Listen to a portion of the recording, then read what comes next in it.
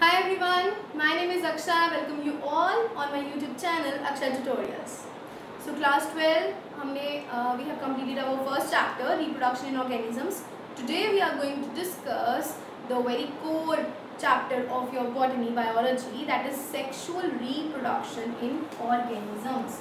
Sexual reproduction in which organisms? In flowering plants. Sexual reproduction in flowering plants, this is one of the very important chapter.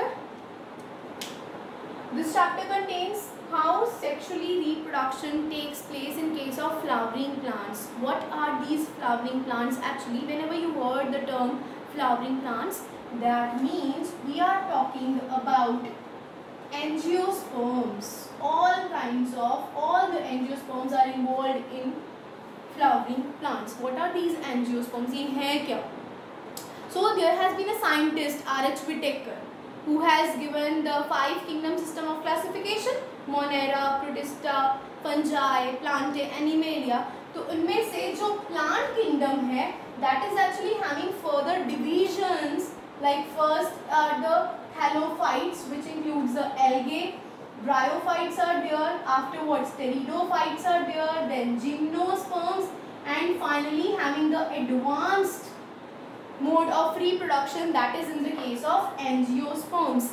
This angio word means covered and the sperm word here means the seeds. So all those plants bearing the covered seeds inside it they are regarded as the angiosperms and they are also named as the flowering plants.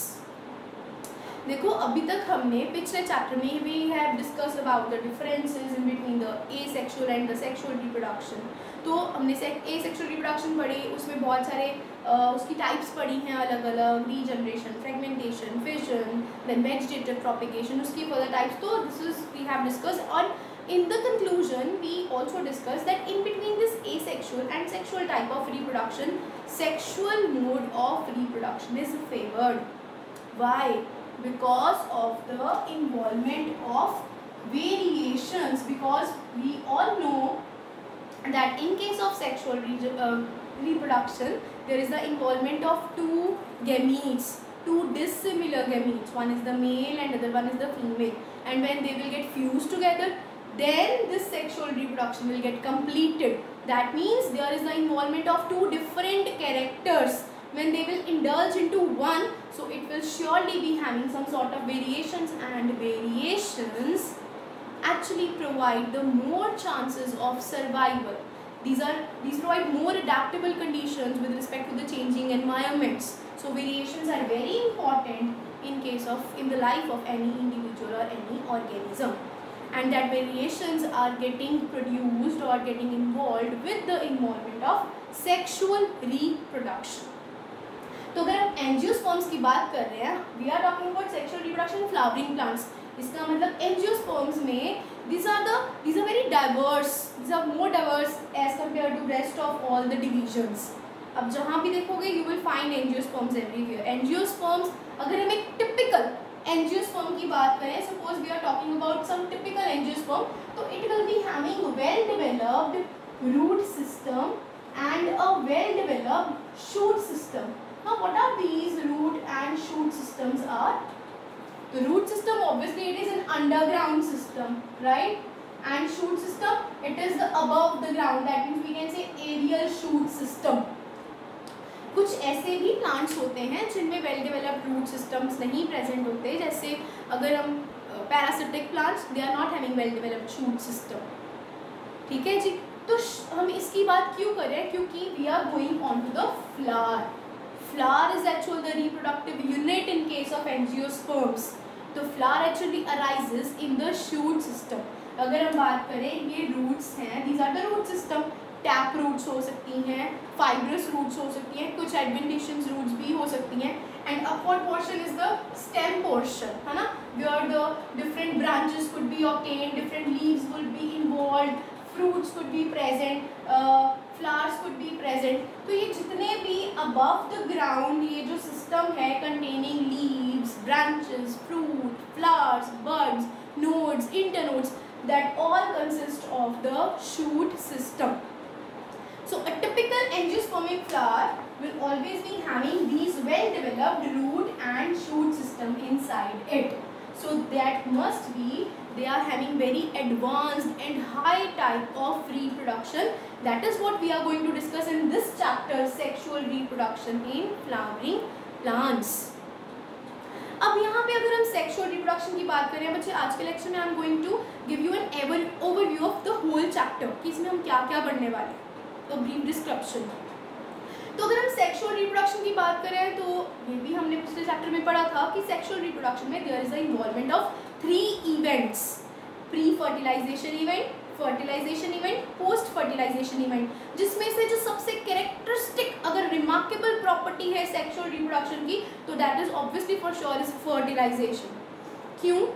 क्योंकि कुछ ऐसे भी gametes हो सकते हैं which can be formed but they are having asexual reproduction in the lower organisms this also we have been discussed in our previous chapter right तो pre fertilisation events की अगर हम बात करें सेक्सुअल रिप्रोडक्शन के केस में, आपको पता है जो प्री फर्टिलाइजेशन इवेंट्स हैं in case of sexual reproduction they involve two processes one is the gamete formation right and other one is the gamete transfer तो पहले गैमीट बनेगा।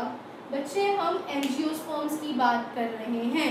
सेक्सुअल रिप्रोडक्शन की बात करें तो दो गेमीट्स होंगे। One will be the male and other one will be the female तो एंजियोस्पर्म्स के केस में फ्लावरिंग प्लांट्स के केस में जो मेल गेमीट होता है that is usually pollen grains and those pollen grains are called as microspores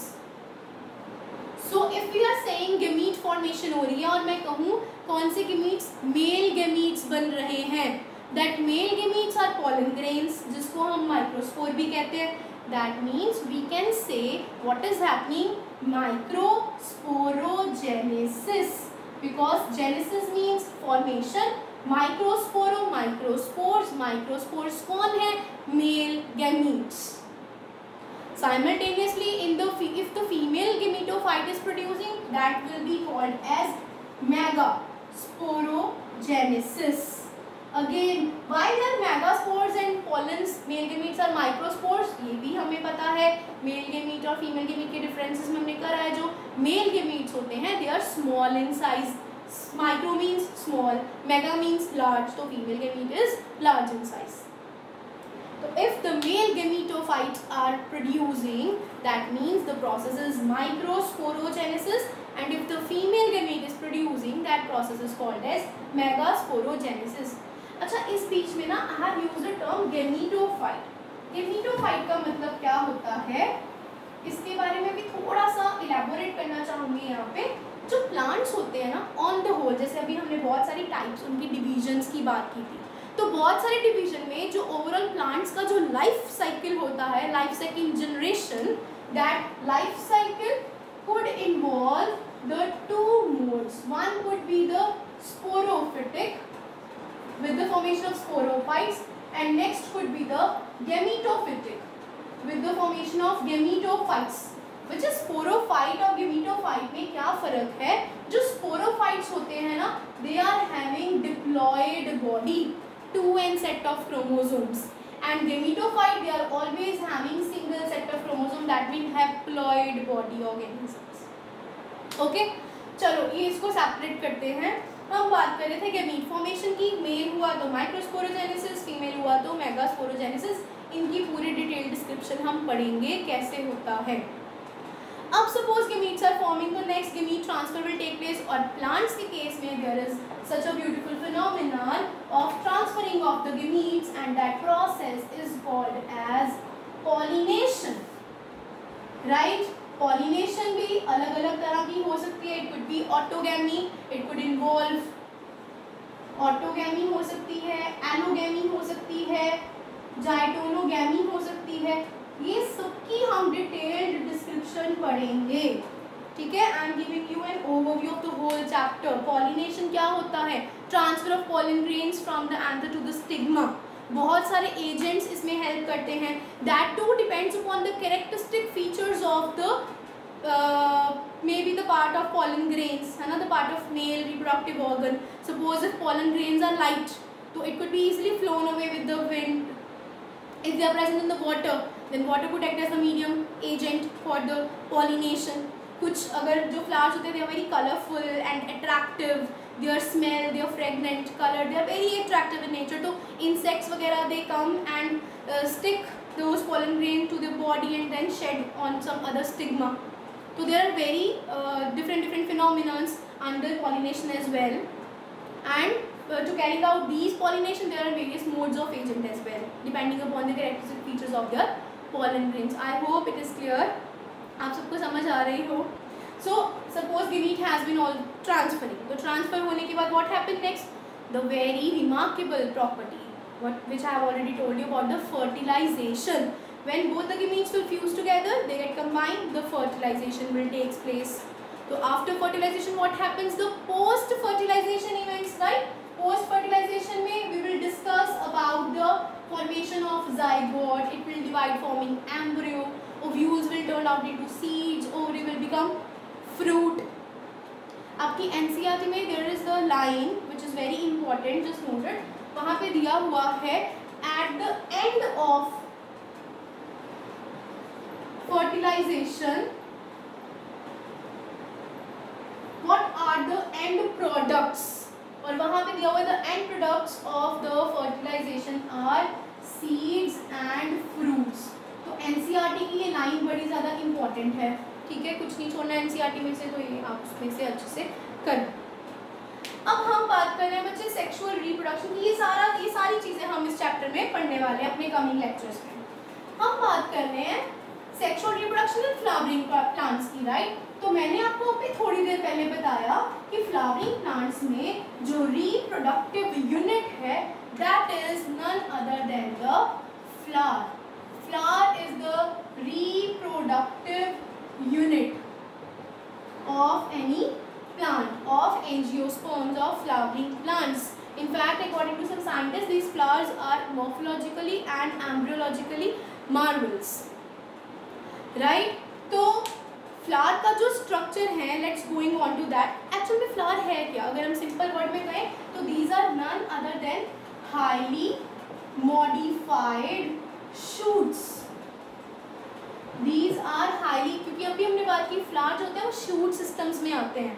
तो अगर हम शूट को कंस्ट्रिक्ट भी करते हैं तो इट विल बिकम फ्लावर तो flowers are highly modified shoots having modified floral leaves इनके जो फ्लोरल लीव्स होते हैं दे आर अरेंज्ड अगर हम इनकी फ्लोरेसेंस की बात करें तो they are arranged in four whorls four whorls में अरेंज होते हैं what is this folds fold is the arrangement of the parts of flower like its branches or leaves or the petals sepals in the concentric circles उसको बोलते हैं वोल्ड्स चार वोल्ड्स होते हैं वो चार वोल्ड्स कौन कौन से होते हैं दे आर कार्पेल जिसको आप पिस्टल भी बोलते हो. They are stamen they are stamen is the male reproductive organ carpel is the female reproductive organ right they are sepals they are petals ये these are the important four rules of जिस flower में ये चारों structures present हों they are said to be the complete flowers. ये, this is also important note it down. अगर इनमें से एक भी चीज़ मिसिंग होगी then that flower will be considered as the incomplete flower जिसमें ये चारों वर्ड्स प्रेजेंट होंगे only they flowers are called as the complete flowers हम इसको थोड़ा और डिटेल में करते हैं with the help of some diagram मान लो, अगर हम बात करें this is the landing portion of the female part this what is this this is the stigma this portion is the style and the basal swollen portion is ovary and what are these three these three combine together to form our very first female reproductive part of the flower carpel or pistil अगर मैं कहूँ इसके साथ attached है these stalk like units this stalk like unit is filament. It is having attached with a bilobed anther. बच्चे bilobed याद रखना anther bilobed होते हैं। क्या होता है बायलोब्ड कैसा इनका स्ट्रक्चर होता है? सब अभी डिस्कस डिटेल में करेंगे।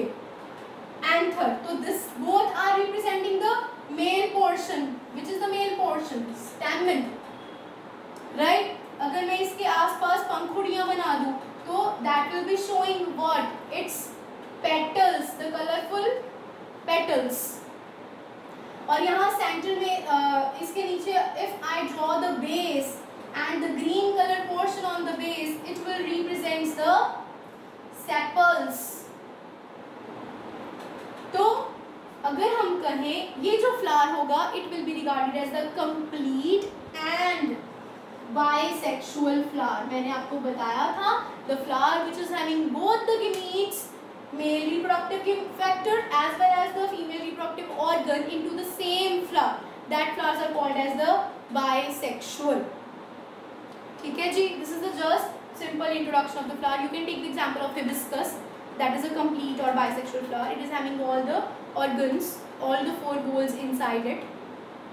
तो this was the just the basic structure of the flower अब कैसे ये फ्लावर जो है इसके जो पूरे स्ट्रक्चर्स हैं what does they compose of their every function of its each part how they act जैसे कि stigma is the landing portion on which pollen grain will stick they will pass through the style and in which ovary is containing the actual female reproductive gametes ovules these anthers will contain the male gametes pollen grains इनकी जो detail structure है that we are going to discuss in our very next chapter जिनको तो botany में बहुत interest है, This must be a very interesting chapter.